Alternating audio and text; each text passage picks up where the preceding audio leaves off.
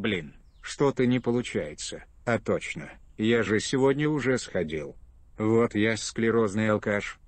А ну-ка скажи мяу-мяу. Колебало, блядь!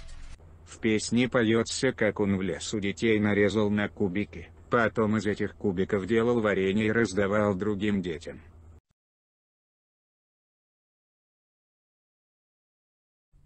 Всем привет. Сегодня у меня грандиозные деревенские планы.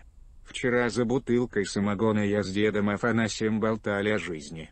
И он сказал про какую-то мяукающую корову, которую якобы привезли из зоны отчуждения. А я вот теперь думаю, это был пьяный бред деда или действительно у нас есть такая корова. Он сказал, что она где-то в соседнем селе находится, а в каком именно я уже не помню из-за того ебаного самогона.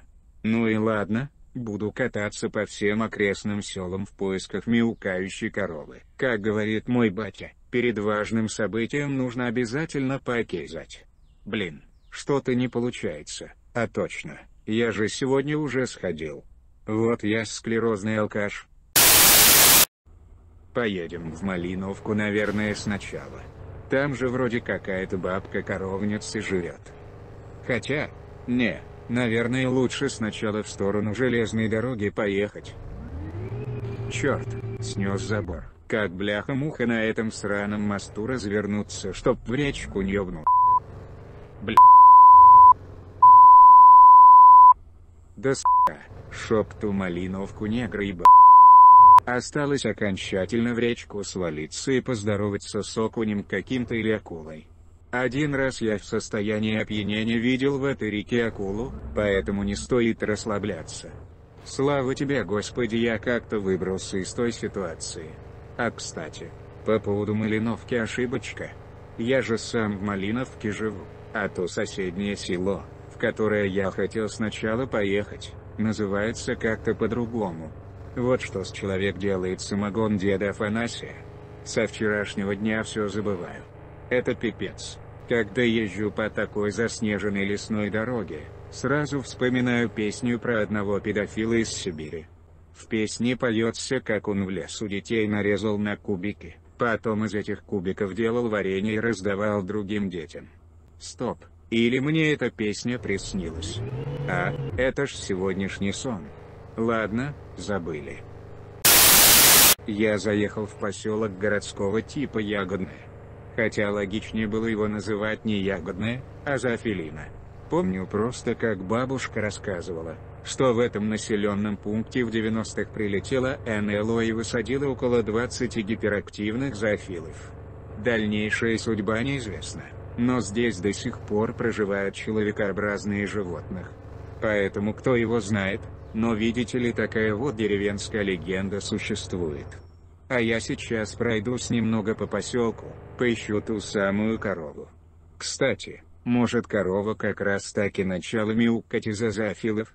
Интересно, но корову жалко, если это правда. Здравствуйте, вы не видели зоофилов? Тьфу, вернее мяукающую корову. Мужик, подожди, дай поговорить с человеком. Его вчера жена чуть в уличный сортир не выкинула. Нужно разобраться. Ладно, понял, я не вовремя. Да уж, депрессивный поселочек. Тут можно кукухой поехать от самого вида многоэтажек. Помню как Виталик еще в юности в этом поселке однажды нашел себе очередную бабу. А через два месяца, когда дело дошли до близости, оказалось, что это не баба, а просто мужик с длинными волосами. А я Виталику сразу говорил, что очень странно, что у твоей девушки борода растет, а он постоянно только и толдычил, что типа это у нее гормональный сбой. И остальное у нее видимо тоже выросло из-за гормонального сбоя. Виталик потом ушел в запой на месяц. Ему впервые в жизни разбили сердце. Здрасте, здрасте, вы случайно мяукающую корову не ебали? Тьфу, я хотел сказать не видали. Мужик, отоспись. Язык заплетается и еще какую-то ахинею говорит. Ладно, вижу, что мне в этом поселке никто не рад. Наверное, лучше из него уехать. Я один это слышал. Неужели это тот педофил из моего сна послал меня на... Наверное я еще не отошел от вчерашнего вечера. А деда Афанасия самогон крепкий оказался. Сейчас направляемся в Варламовку. Ой, Роман звонит. Здорово, что ты хотел?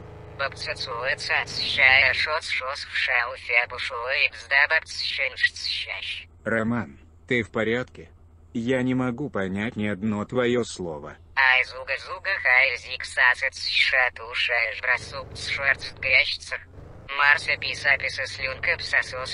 Не, Рамчик. Я тебе вечером, наверное, перезвоню. Пока. Свят, свят, свят. У Романа Будени все дома сегодня.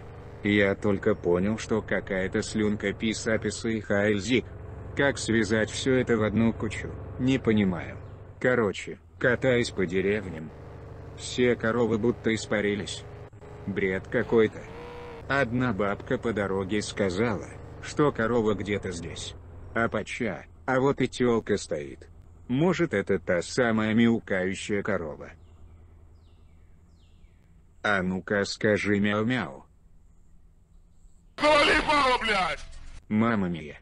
Это я в голове услышал или корова реально меня послала? Наверное это из-за алкоголя, но я лучше перетрахаюсь, тьфу, вернее переставь хуй, да ё-моё, у меня руки дрожат и язык поэтому не могу сказать правильно. Я имею в виду, что лучше перестрахуюсь, а то мало ли что эта корова еще сделает.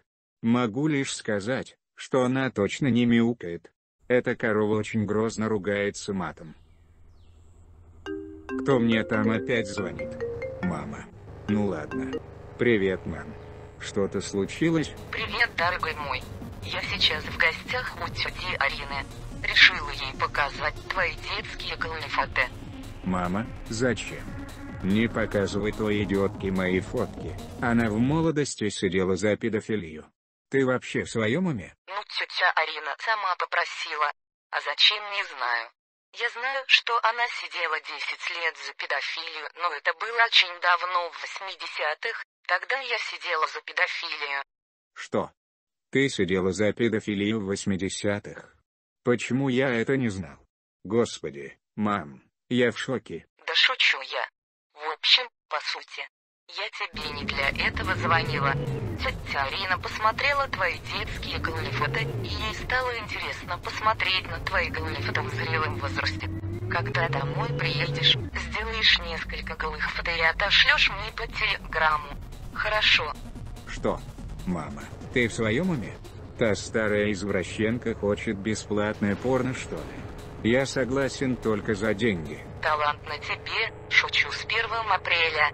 1 апреля. Мама, сегодня 19 января. Какое в жопе 1 апреля? Реально.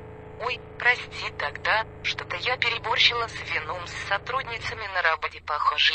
Давай, пока. Пока. Ничего не пойму. Роман два слова связать не может. Мама несет чушь, а потом путается в месяцах.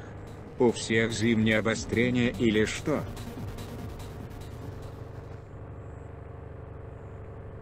Ой, я что, опять к этой корове приехал? Как говорится, все дороги ведут к одной тёлке. Ладно, может в этот раз она замилкает.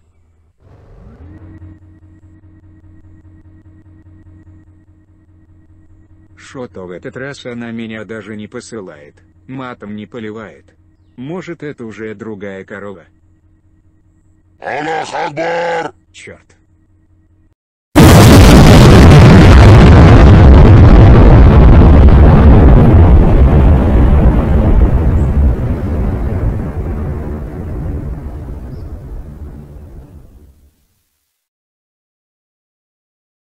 Ничего сетелка, меня ударной волны на чей-то уличный туалет откинуло.